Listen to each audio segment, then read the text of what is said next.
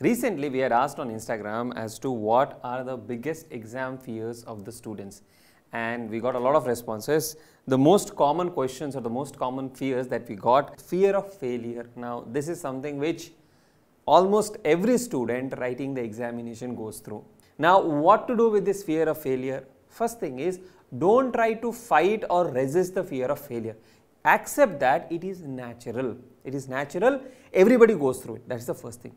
Once you accept it, the pressure of this fear of failure will come down automatically. Second thing is, ask yourself, if I fail, what will happen? What is the worst case scenario that would happen? Will my parents scold me or will my friends make a fun of me?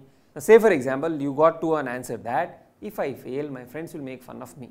If your friends are making fun of you because you failed, they are not your friends. Same way about parents, your parents will be more understanding about you than you actually think, right? And one more thing you have to keep in mind is failure is the path to success. Okay, if you have night, it is followed by day. There are days of sadness, there are days of happiness. Same way, there would be days of failure and there would be days of success.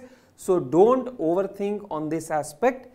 If you fail, it is good, you will know how to handle failure. So subsequently in life, when you fail again, you have a mechanism to cope up with failure.